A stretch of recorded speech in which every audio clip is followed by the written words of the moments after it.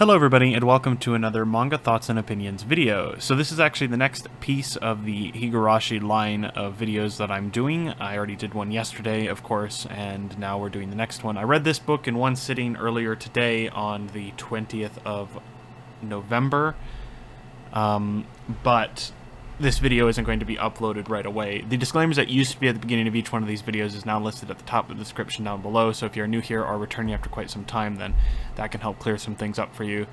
Of course, if you are watching this, I do recommend you watch my Higurashi manga thoughts and opinions in chronological order. Down in the description, there will be links to each of the reviews I've done in the chronological upload and recording order that I did them in.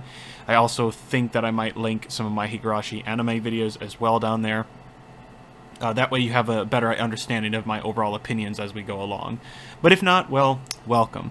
So we're taking a look at the next arc here today.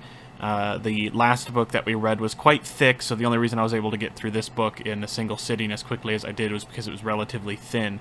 We're taking a look at Volume 1 of the new arc, Time Killing Arc which is uh, the next piece of the Higurashi timeline and story. It's actually a bit of a sort of prequel story. It's kind of a flashback type sequence where we get to see the events that take place before Keiichi shows up to the Hinamizawa village.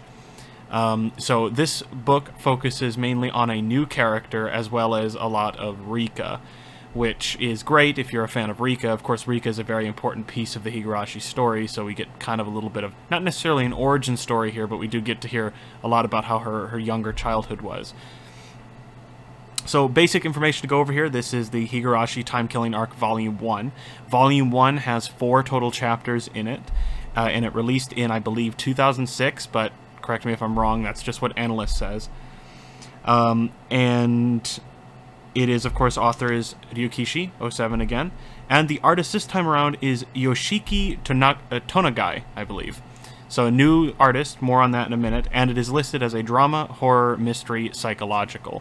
So things are getting to be a little bit uh, not necessarily darker here, because in just Volume 1 alone, while things definitely do have a bit of a, of a tense or suspicious feel to them, it's not just straight up bloodshed like a lot of the arcs have been thus far. And keep in mind that by the time I'm recording this video, I've actually already started reading the second volume of this arc. This is There's two volumes in this arc in total, of course, as it's usually been up to this point. And I'm about halfway through that book, and still there isn't an immense amount of bloodshed. It's more focused around some of the more internal affairs. Um, so of the four chapters, first thing I'm going to talk about here is the new artist, the art style here. Now, I think that Yoshiki's art style, I actually really like it. First of all, there is some extremely good detail in the artwork here. There's a scene in the book, for example, where you'll, you'll see the skull with like its skin and flesh peeled off, and it is super detailed. It almost might as well be a real life picture that they took and just put a filter over it to make it look like it was a manga uh, drawing. Um, there's also a zoom in on an old lady's face, and you get to see every like individual pore and wrinkle, and it's just really nasty because of how really detailed it is. So the artist definitely, I'd have to say that this is some of the most detailed Higurashi art I've seen thus far. The art style itself, though, on female characters is very, very different to any of the previous arcs, however. Now, I actually do like it, but the thing that this makes it difficult for me to enjoy as much is because, while I think it's interesting to do a different artist for every arc, and I've already talked about this in my previous Higurashi videos, it does make it a little bit more difficult to kind of, you know, keep this consistency to each of the characters. So, Rika has had a relatively similar art style throughout each of the arcs, no matter the artist.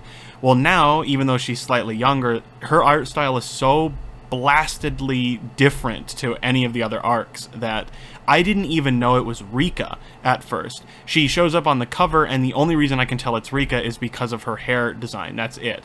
And the fact that she's wearing a priestess outfit. Otherwise, everything else is, or a shrine maiden, I guess. I don't know proper terminology here. But anything else in the book, she just is extremely adorable. The characters have these circular eyes, so instead of having like the big anime eyes, they have literal like circles for eyes. Um, and they they really don't have any pupillage, so usually when there's a cute scene with a cute female character, it's just one big white eye with a tiny little mark in there to show where the coloring would be, but they don't have any colored in black pupils or anything like that. Now, all of Rika's scenes in this is fucking adorable. So every single scene Rika's in, she is super super cute and you can just you can just feel the cuteness emanating off of her. Now let's go through the chapters. So this book actually doesn't focus around Keiichi or, you know, like we have been focusing on most of the arcs. This arc actually focuses around a new character named Akasaka, who is part of a civil sort of um, security investigation bureau in Tokyo. And the prologue of the book starts right off by basically showing you the end of the arc. And that shows, of course, a colored version of Rika in front of the shrine with her abdomen ripped open, right? That nasty scene that I had talked about previously in the in the previous book. Well, now we get to see that scene again, but this time, of course, we're taking a look back in time. Um, so, Detective uh, Akasaka comes to investigate claims of violence and kidnapping and has to look into this this defense alliance that's that's in the, the city or in the village because this is during the dam project thing. This is where people are rioting against the dam, which will end up destroying the village and stuff like that. So apparently, one of the headmaster's children was actually kidnapped. And that's what Akasaka is here to figure out. He's trying. He's going to blend in, pretend to be a tourist, but also is actually undercover looking for information um, which is where he ends up meeting young Rika, which is an adorable meeting.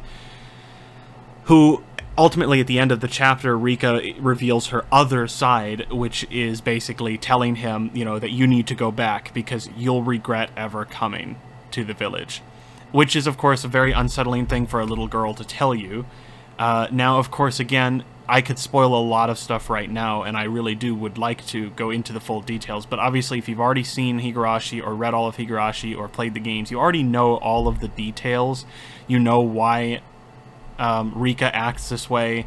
You know what she actually means and stuff like that. But it's it's very it's it's kind of confusing the way what it ends up leading to. She says, for example, you'll regret staying here, and they foreshadow that something might happen to Akasaka or Akasaka's wife, who is currently out of town, obviously, in a, I believe, I guess she's back in Tokyo or somewhere. She's in a hospital due to some, some illnesses that she has, but she's also pregnant. But they keep foreshadowing that something's going to happen to his wife if he stays here in the village. Uh, which means there's really nothing supernatural going on. There is no real curse. We've already talked about that. But what ends up happening later on in this arc kind of puts a bit of a twinge in that that that theory. Now, chapter two, it gets a little bit more interesting. So, Akasaka actually meets with, of course, a fan favorite character, one of my personal favorite characters as well, Oishi, who is, of course, another badass old, like, 59 year old detective and it basically from this point forward turns into kind of a of a buddy cop arc. And I one of the reasons why I love murder mysteries or mysteries in general is because of those old school like noir buddy cop films and television shows, you know, investigations and stuff. I've always loved those stories, which is one reason why I love Higurashi so much. So when I get a an actual arc in the manga where we get to have two detectives working together to uncover the mystery of a kidnapping, it's really really enjoyable. First of all, though, we got to go through the the mahjong game. So they actually play a, um, a round of mahjong, which is, am I saying that right? Mahjong, I think, which is um, way more intense than it needs to be, but it's it's enjoyable nonetheless. Uh, and so we learn about um, the fact that the head of the Sonozaki family, the old lady or Bacha as she's referred to, uh, is actually mentions Akasaka and says, "We'll let him swim free for a while." In other words, that he may be running amok here in Hinamizawa, but the head of the controlling family of the village territory is basically letting him run around free. So they know why he's there. Even though he's there undercover, the city already knows why he's there, essentially, right? Which is very unsettling as well. I, would get the fuck out at that point. Now, chapter three is where where you get to see some of the really good detail. That's where you see the skull and the old lady's face and stuff uh, talk about how Rika's adorable, and I say, um, now, one of the things that was kind of confusing to me was I wanted to know why Rika was with the Sonozaki family, because Rika is part of the Furude family, right? And she's supposedly one of the only surviving members, so I guess that's why the Sonozaki family is looking after her, because she's just a child here. But there are three main families in the Hinamizawa area. Sonozaki's at the top. Then there's the Furude family, who who is used to be the most powerful, supposedly, and then there's also the Hojo family, which I, I believe, right? Which is also kind of dwindling because of issues that have happened in the past. But this this caused a little bit of confusion with me. I didn't know why Rika was with the old granny. I just, for some reason, I, I just couldn't figure out why. But uh, Oishi actually warns Akasaka about underestimating, underestimating Hinamizawa because this is where we actually get to learn a little bit about why Oishi is always involved in Higurashi stuff, and it's because he actually has a personal history with that village. He's, of course, from the neighboring village, but he has personal history with the village. He tried to investigate them at one point, the Sonozaki family, and what he ended up getting in return was a massive scar that they, they revealed. I don't ever remember seeing that in the anime. It might have happened and I just forgot, but it was really badass seeing him take his shirt off and you see this massive, disgusting scar that's like covering his entire shoulder no idea what it was, but he says this is what happens when you you investigate too much, right? Um, and there's all these theories and rumors about how the Sonozaki family originally had the how they came to power. It was because of the use of the black market, the yakuza, etc.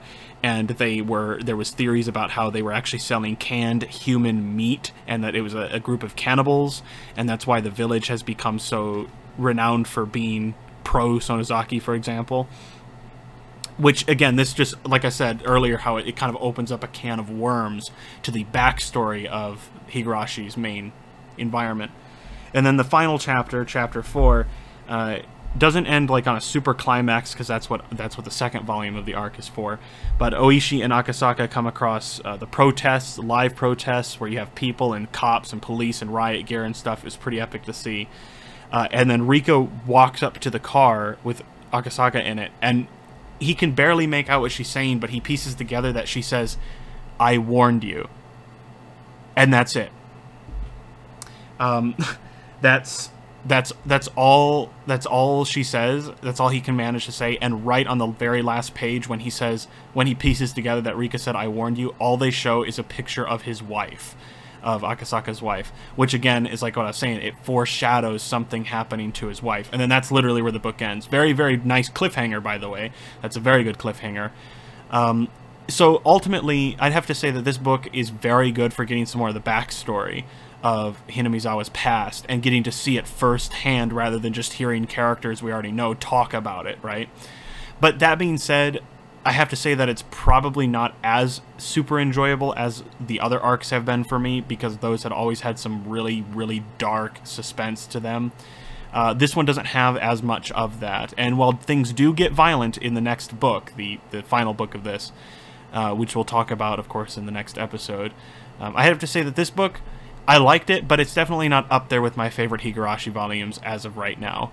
The art style, though, like I said, while it is hard to keep up that consistency with the previous art styles, I do really like Rika's character when she's drawn on the page. She's extremely adorable. But anyways, guys, that's going to bring this one to an end, so I'll see you in the next Manga Thoughts and Opinions video.